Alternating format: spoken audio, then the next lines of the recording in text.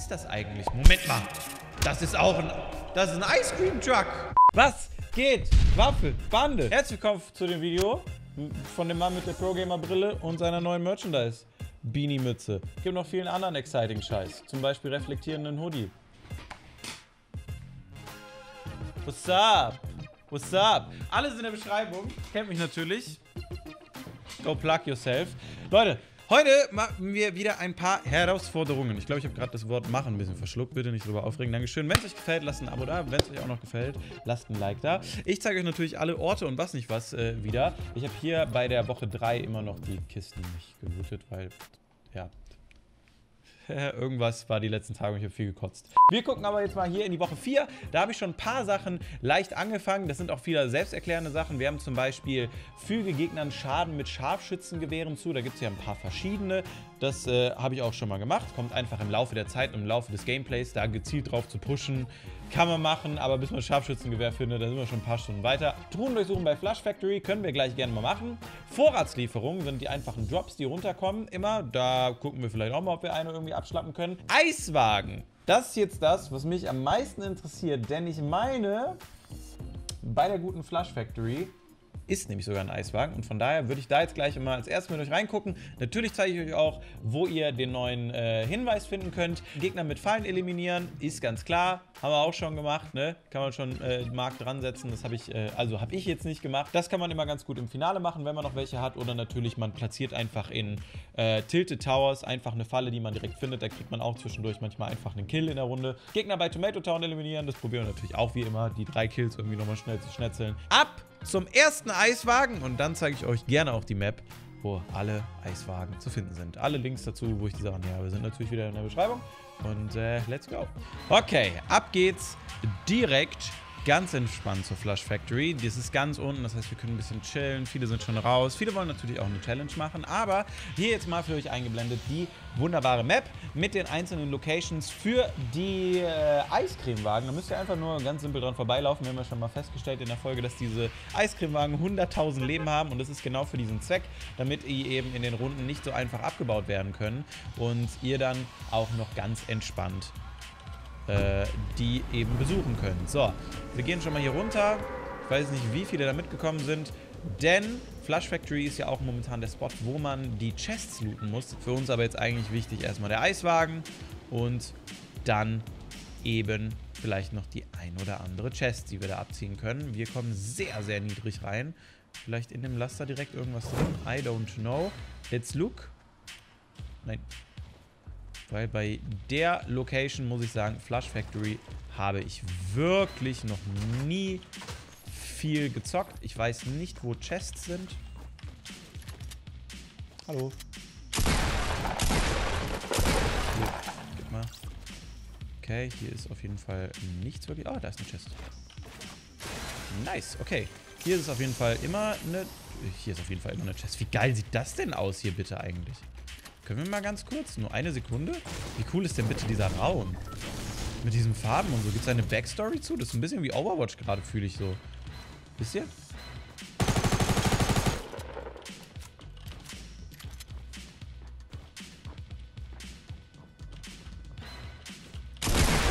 Danke, bye. Ah, ein Scharfschützengewehr. Jetzt zeige ich euch das mal. Da hinten ist auch noch eine Chest. Perfekt. Zack, so macht er dann und dann haben wir ihn schon besucht. Von daher ist das jetzt mein zweiter Ice Truck, glaube ich, weil der, ich hatte schon mal einen in einer anderen Aufnahme gesehen heute. Nice one. Hier geht aber ab, Alter, chesttechnisch. Läuft. Direkt drei Stück instant. I love it. Wir haben bestimmt noch eine geklaut bekommen, weil noch jemand da war. Aber, nee, guck mal, vier. Was ist denn los? What's happening, boys? Man keiner mehr die Weekly Herausforderung oder was? 4000 EP, euch allen egal? I don't think so. Schön Battle Pass Punkte. 50 Stück, Leute. Was geht denn? Noch eine höre ich hier.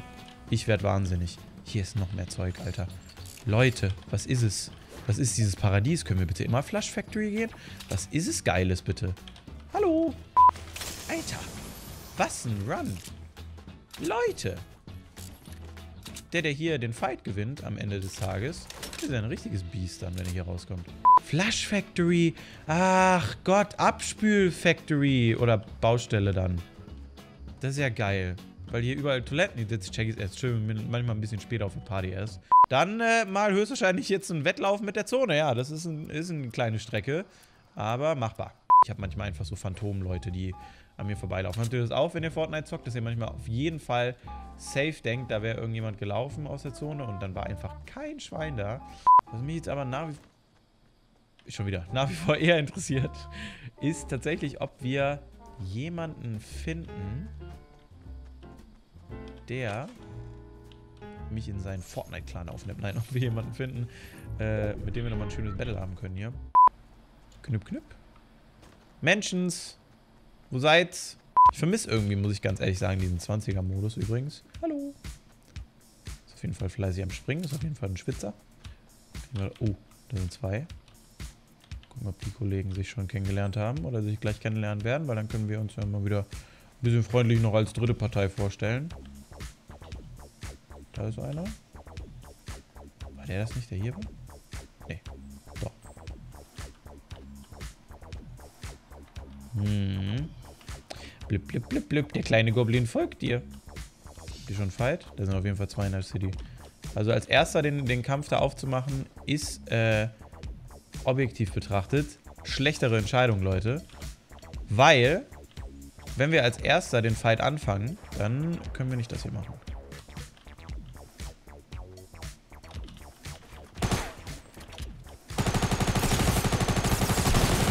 Nice one. Love it.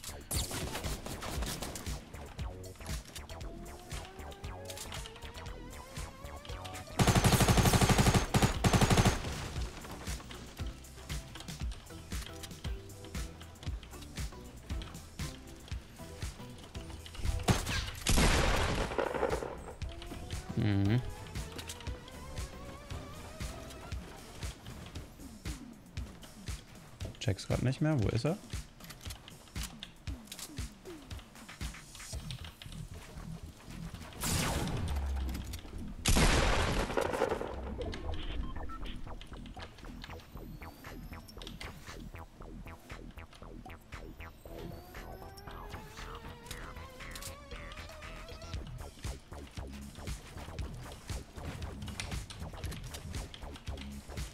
Oh Gott, oh Gott, ich habe kein Material mehr. Oh mein fucking Gott, Alter.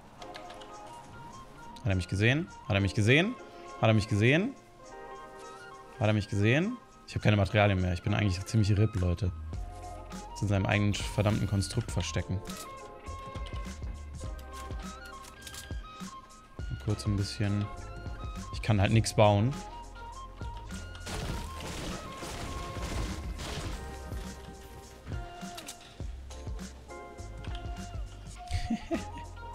so, jetzt können wir wenigstens noch ein bisschen in die Zone, auch wenn wir es gleich höchstwahrscheinlich voll in den Nacken kriegen. Wir haben leider nichts gelootet davon. Mann!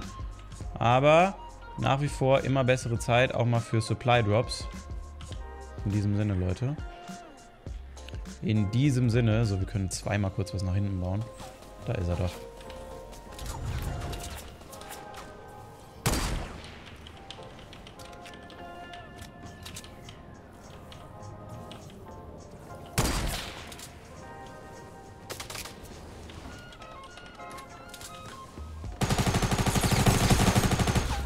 Dankeschön, bei. So, nochmal 100. Gleich können wir noch einen Trank reinschütten. Alles ist nicht so optimal gelaufen, wie ich mir das vorgestellt habe. Aber vielleicht finden wir ja noch einen Supply Drop. Das wäre nice. Ansonsten spielen wir die Runde entspannt zu Ende. So, jetzt haben wir natürlich auch nicht groß Zeug von dem holen können. Das heißt, wir müssen immer noch mal ein bisschen weiter pushen. Okay, hier geht auf jeden Fall auch einiges. Bei den beiden Kollegen.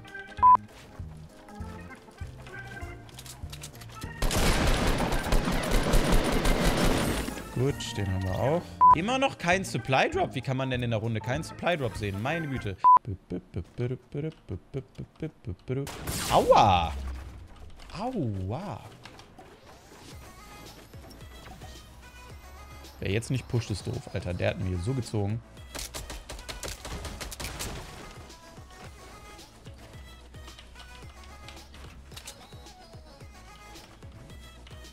Okay, let's try.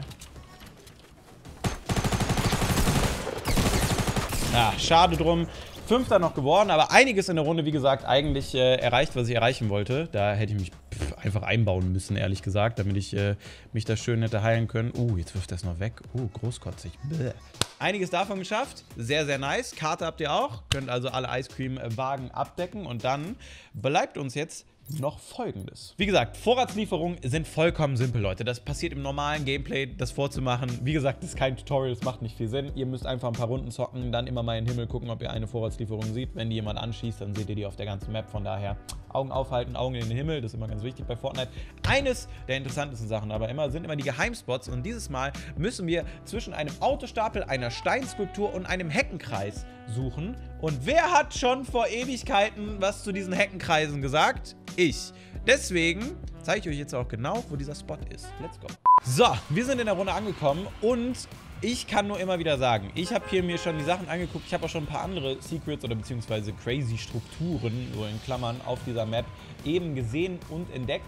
Und äh, an denen kann man sich immer ganz gut orientieren, wenn es, wie gesagt, um diese Punkte geht. Wir müssen jetzt für äh, dieses Ding genau in den Sumpf hier reinfliegen, denn da hinten gibt es ja immer einen wunderbaren Autoturm und dieser Autoturm ist heute tatsächlich mal von Gebrauch, damit wir auch das finden, was wir suchen.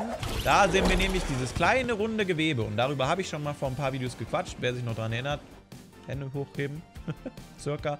Und äh, deswegen zwischen diesem Kreisel, zwischen diesem Autotower und was auch immer das andere war, ich weiß es nicht mehr ganz genau, ist eben dieses Secret. 10 Battlestars, übel easy, muss ungefähr hier sein, wenn mich nicht alles täuscht. Richtig, könnt ihr einfach collecten, wirklich super easy, zack, 10 Battlestars und das Ding ist over, Alter. So, übelst easy, Achtet wirklich immer, wenn ihr runterkommt, darauf, ob es so verschiedene Formationen gibt. Äh, auch mal an äh, Stellen, wo ihr vielleicht nicht runtergeht oder wenn ihr mit Freunden zockt, einfach mal wieder andere Drops auswählen. Immer beim gleichen hinzugehen. Das, keine Ahnung, ist einfach die dümmste Taktik, damit man irgendwie sich mal ein bisschen die Map einprägt und vielleicht auch coole Spots so findet oder ein paar kleine Secrets oder Easter Eggs, die äh, Epic Games hier eingebaut haben. Immer mal wieder woanders droppen, Leute. Ich kann es euch nur empfehlen. Es ist äh, mega nice so. Da ist dieser komische Autotower. Der ist wirklich weird. Da ist meistens immer eine Chest oben drauf.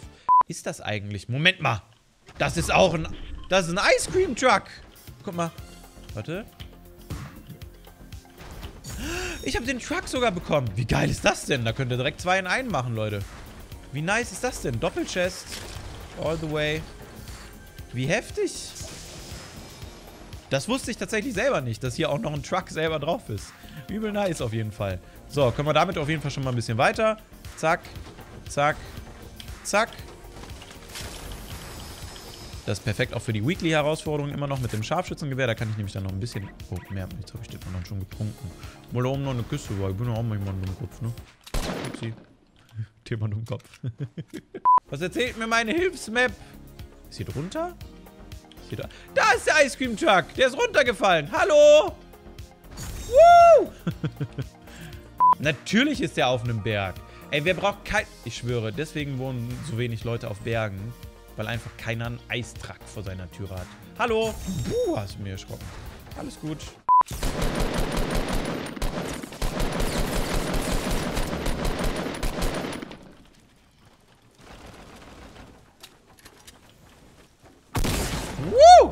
So, schauen wir mal. Da haben wir jetzt schon zwei abgeschlossen. Oh mein Gott. Besuche verschiedene Eiswagen. War fertig schon. Nice. Truhen hatten wir, wie gesagt, auch fast fertig. Aber dazu alles entspannt. Und jetzt gehen wir noch einmal schön nach Tomato Town und holen uns drei Kills. Komm. Okay, Tomato Town. Es wurde bestellt und jetzt wird natürlich abgeholt. Mal gucken, wie viele Leute mitkommen. Ich glaube, das wird eine ganz ordentliche Schlacht da. Besonders, weil es da nicht so ultra viel Loot gibt. Aber vielleicht als kleinen Tipp für euch und vielleicht auch als kleinen Tipp für mich, ich probiere das jetzt direkt mal aus, ist die Brücke über Tomato Town. Da gibt es meistens ein bisschen Loot. Man kann sich entspannt da so äh, reingleiten und hat dann den Highground zu den Leuten in der Stadt. Deswegen würde ich euch persönlich empfehlen, hier schön diese Brücke mal auszuscouten und äh, im besten Fall dann da zu landen. Ich bin so ein bisschen zu hoch reingekommen und es ist auch nur eine Socke im Tomato Town. Das ist super. Schauen wir mal. Ja. So, ein Kill. Hinter uns ist jemand.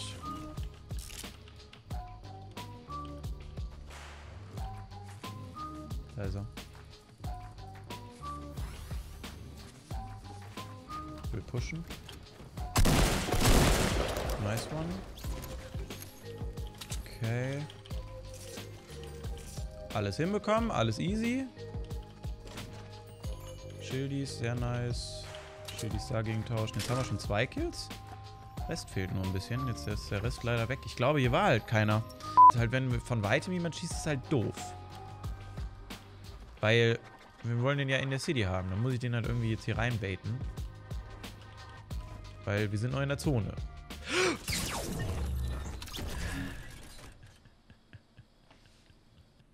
Runter geht's wieder in die Tomato Town. Ich hoffe, dass dieses Mal vielleicht ein paar mehr Kollegen mitkommen. Wir steuern schon mal schön wieder aufs Flussbett zu. Dann können wir da einen schönen niedrigen Drop-In kriegen, natürlich. Und ja, so ist ungefähr die Fallrichtung. Dann einfach mal straight, straight down the line. Dann mal ganz entspannt Richtung Tomato gehen. Gucken wir mal. Brücke hat gut geklappt. Wir sind jetzt aus einer anderen Richtung gekommen. Ich würde vielleicht fürs Haus gehen. Kommt überhaupt jemand hier hin? Yes. Yes, yes, yes. Nice. Okay, gut. Let's go. Haus auf jeden Fall. Dann können die Kollegen sich da hinten killen. Da wird so oder so ja einer übrig von bleiben. Ich glaube nicht, dass die sich perfekt ausrotten. Dann haben wir das ganze Haus für uns alleine. Im besten Fall. Nice. Shotty Instant. Sehr gut. Wo ist er denn? Versteckt er sich da drin? Und da ist er! Der dritte Kill, den wir gebraucht haben. Super easy und entspannt. Jetzt haben wir ein bisschen auf uns aufmerksam gemacht. Vielleicht kriegen wir nochmal ein paar nette Kollegen hier, die auch Bock haben, weil sie auch noch Kills brauchen. Da ist er. So was wie den zum Beispiel. Haben wir noch ein bisschen was. Schön salven. Kann ich nicht. Probieren wir trotzdem mal. Einfach nur aus Spaß jetzt. Hallo. So, fast 100er Prezi. Lolz. Kann man mal wieder übrigens ballern, sich die Sachen. Mann, ey. Ich freue mich wirklich auf diesen Blitzmodus, der kommt, Leute, wo dann einfach die Zonen oder die Zone durchgehend kleiner wird. Oder wie genau der aufgebaut ist. Es wird auf jeden Fall deutlich schneller. Ich habe es bei den Buddies äh, gesehen, da dauert eine Runde maximal 15 Minuten. Das ist halt echt gar nichts im Vergleich zu so einer normalen Runde. Also ich weiß ja nicht. Irgendwie kommt mir das alles ein bisschen spanisch vor. Immer so in die Top fucking 20 zu kommen, wenn man nichts irgendwie gerissen hat, ist halt auch langweilig, oder? So, bei Shifty jemand. Ich glaube auch nicht. Oh je, Mine. Das kann doch nicht wahr sein. Hui. Damage. How to do it right. Aufmerksamkeit. Die, die keiner wollte. Aua. Aua. Du von hinten wirst mich bestimmt auch haben. Schweinepriester.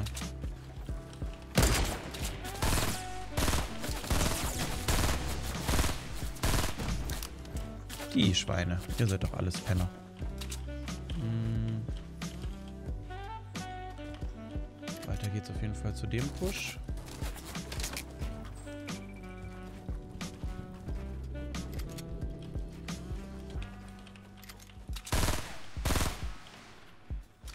Boah, ich bin so hart damit der Herr. Der will auf jeden Fall Highground nehmen.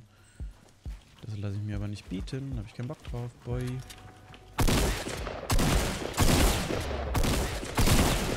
Nein! Oh, gesprungen. Das war der Fehler. Oh mein Gott. Da ist auf jeden Fall noch was ausbaufähig, Leute. Ich muss auf jeden Fall noch ein bisschen mehr hassen, um solche Situationen einfacher zu klären, weil das war ein ultra einfacher Kill. Ich glaube, wir haben soweit alles abgedeckt von dieser Woche. Ihr kennt die Eiswagen-Spots, ihr kennt den Spot für das neue Gebiet, was ihr finden müsst, beziehungsweise den geheimen Spot da. Der Rest ist, wie gesagt, sehr selbsterklärend äh, und sehr einfach. Also Damage mal mit Scharfschützengewehren. Ihr habt es gesehen, es kommt einfach mit der Zeit. Wirklich Truhen durchsuchen bei Flush Factory. Ich habe in einem Run 5 gefunden, also das vielleicht diesmal ein besserer Ort. Vorratslieferung, das kommt einfach im Laufe des Games. Easy. Das war es wieder mit einem kleinen Guide für diese Woche. Wenn es euch gefallen hat, lasst auf jeden Fall einen Daumen nach oben da. Tipps und Tricks zu allem habe ich auch noch rausgehauen. Wenn es euch gefällt, wie gesagt, Daumen nach oben. Wir sehen uns beim nächsten Mal wieder. Bis dann und rein und ciao. Äh. Ah, ah. Gut, Video ist vorbei. Ist aber nicht schlimm. Like mein Scheiß und lass ein Abo da. Guck mehr Videos, guck, guck mehr Videos. Mir fällt nichts mehr ein. Tschüss.